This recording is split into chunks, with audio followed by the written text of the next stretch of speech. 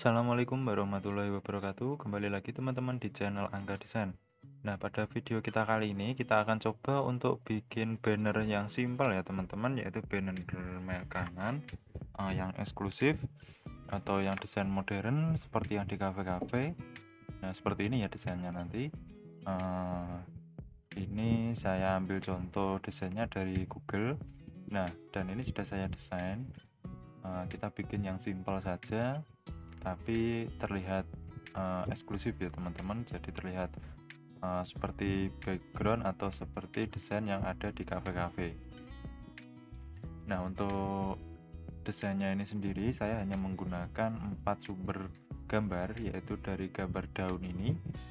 Yang pertama yang kedua gambar tomat yang saya cari dan juga gambar salah satu makanan yaitu hamburger Nah, untuk yang makanan ini dan juga aksesoris makanannya ini teman-teman bisa cari uh, sesuai dengan menu makanan yang akan teman-teman buat.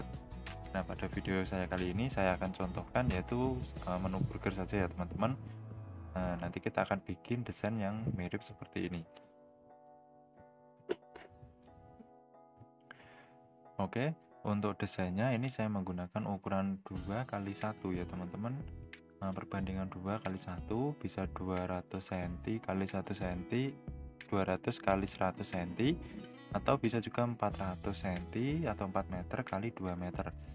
Nah tergantung teman-teman ya. Kalau ini saya menggunakan rasio skala 2 banding 1 uh, ini saya bikin pixel agar tulisannya uh, agar ukurannya kecil saja cuman skalanya tetap ya 2 kali 1 nah seperti ini Oh ya, dan gambar yang terakhir ini saya menggunakan background ya teman-teman, yaitu background hitam.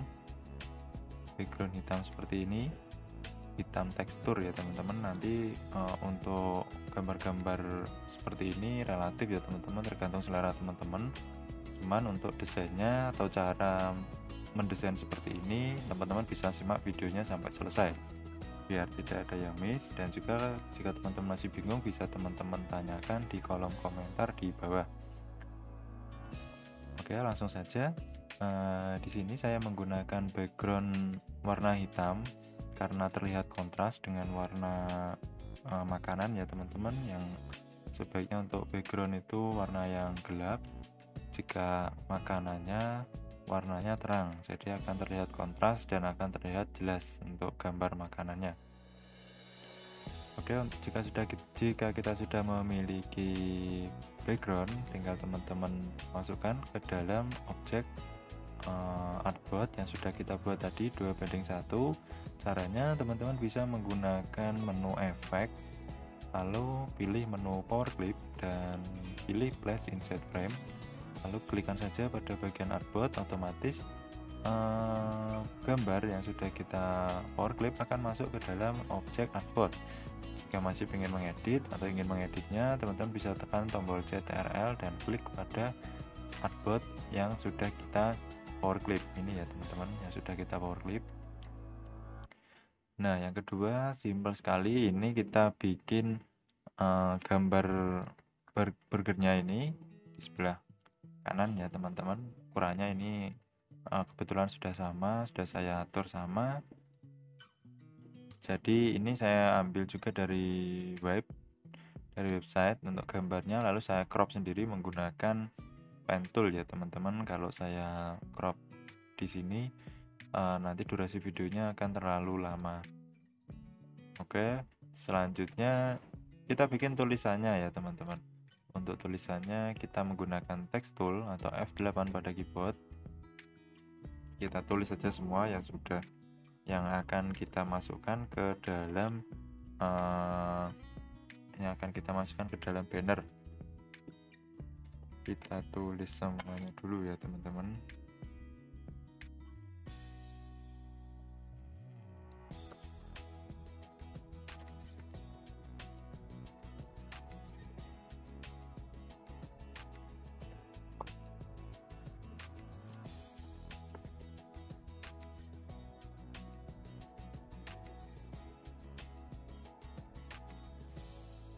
jika sudah, teman-teman tekan pada keyboard CTRL-K untuk memisah tulisannya ya, teman-teman.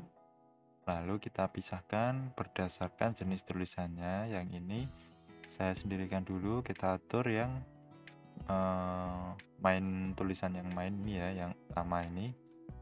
Ini saya menggunakan menu atau saya menggunakan font kita cari dulu fontnya yang sesuai saya menggunakan font ini ya candy cake. Untuk warnanya saya menggunakan warna standar. Ini warna RGB nah untuk tinggal kita atur untuk ukuran dan juga posisinya. Kita samakan ya teman-teman.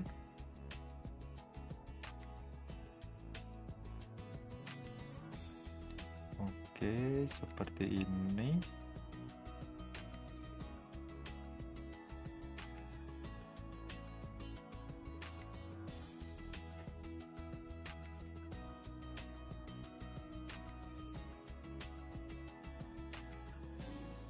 Jika sudah dirasa sudah sama, teman-teman tinggal atur posisinya dan kita kasih warna yang berbeda. Ini menggunakan warna orange.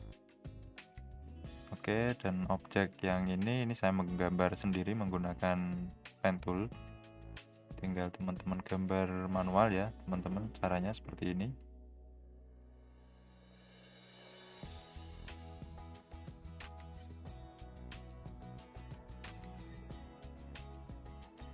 Lalu kita gabung menggunakan bel dan kita beri warna yang sama atau yang warna yang senada ya teman-teman. Nah hasilnya akan jadi seperti ini. Tinggal kita atur untuk posisi dan ukurannya. Oke yang kedua kita menggunakan uh, objek yang beda lagi untuk fontnya. Ini saya menggunakan font Gotham yang bawah yang reguler ya teman-teman. Yang ini yang atas yang black. Yang black ini lebih tebal. Warnanya saya bikin senada. Lalu ukurannya kita perkecil teman-teman kita sesuaikan dengan uh, ruang yang masih tersisa ini.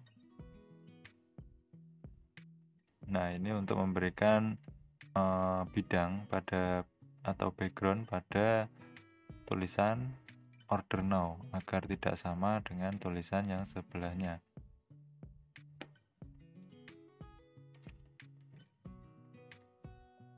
Ini saya ganti warna hitam kembali karena agar terlihat. Nah seperti ini ya teman-teman. Tinggal kita miringkan untuk tulisannya atau teksnya. Teman-teman klik dua kali. Akan muncul panah seperti ini tinggal kita drag kita seret panahnya. Otomatis tulisannya juga akan mengikuti sesuai dengan arah yang kita seret. Nah seperti ini ya teman-teman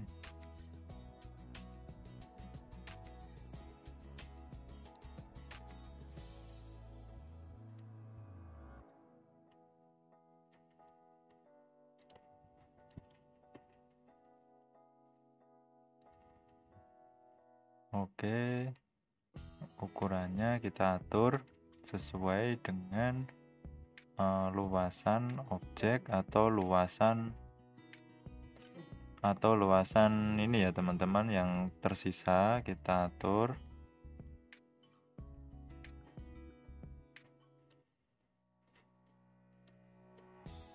Nah tinggal kita memberikan uh, aksesori ininya sudah kita download juga yaitu gambar daun dan juga gambar uh, tomat seperti ini. Kita save backup agar terorder ke depan. Oke lalu tinggal kita atur seperti ini ya teman-teman. Tidak sama juga nggak apa-apa. Yang penting sesuai dengan contohnya. Jika sudah seperti ini teman-teman bisa power clip ke dalam background lagi ya teman-teman. Nah seperti ini hasilnya. Dan efek yang terakhir yaitu ini tulisan free home delivery ini ketinggalan kita tulis lagi ya teman-teman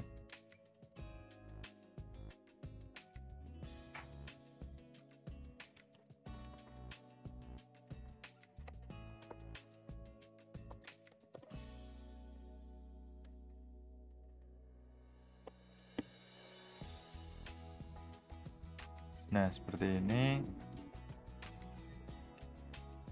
Fontnya kita ganti font hand draw. Di sini saya menggunakan font DK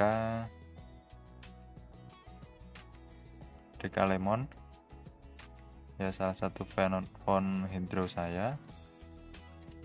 Ini saya download free di Davon ya, teman-teman. Untuk pemakaian pribadi. Oke. Nah, untuk aksesoris yang terakhir ini saya menggunakan pen tool. Ini saya menggunakan uh, hand draw manual. Menggunakan pen tool sesuai dengan selera teman-teman untuk bentuknya. Kita pakai pen tool, kita bikin sesuai selera ya, teman-teman. Dan untuk pen tool, teman-teman juga terserah teman-teman ada banyak pilihan. Ini ada bezier artistik freehand. Ini bisa teman-teman pilih salah satu sesuai dengan uh, yang teman-teman bisa. Kalau saya sudah terbiasa menggunakan uh, pen tool ini ya teman-teman. Oke untuk warnanya kita kasih warna yang senada jadi warnanya sama. Nah lalu kita bikin aksesoris lagi yang terakhir ini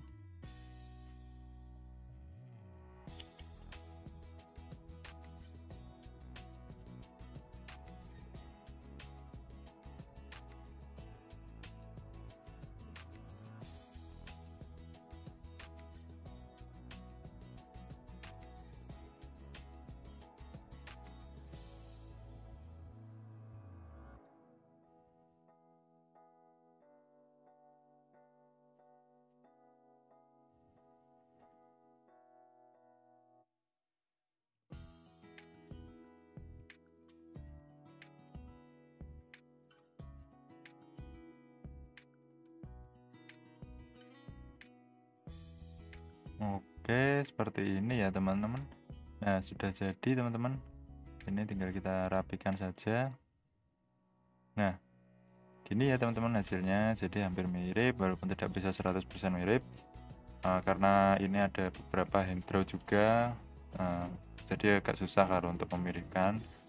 Nah, seperti ini ya kira-kira untuk cara desainnya seperti tadi yang sudah saya jelaskan dari awal video jadi sangat mudah sekali ya teman-teman menggunakan aplikasi Corel Draw untuk desain banner yang semacam ini. Untuk kita membuat banner makanan modern ala cafe nah eh, ada juga teman-teman yang request kemarin untuk membuatkan desain banner yang seperti ini cuman menggunakan aplikasi lain yaitu salah satu aplikasi HP uh, nanti pada video berikutnya akan coba saya uh, buatkan tutorialnya untuk membuat uh, desain banner dari aplikasi HP jadi bagi teman-teman yang tidak memiliki laptop atau PC maupun teman-teman yang susah menggunakan aplikasi Corel Draw bisa belajar menggunakan aplikasi smartphone atau aplikasi Android ya teman-teman. Nanti akan saya berikan tutorialnya. Jadi teman-teman simak saja videonya Tunggu nanti akan saya buatkan tutorialnya. Jangan lupa klik tombol subscribe dan juga lonceng agar teman-teman bisa mengikuti video saya selanjutnya.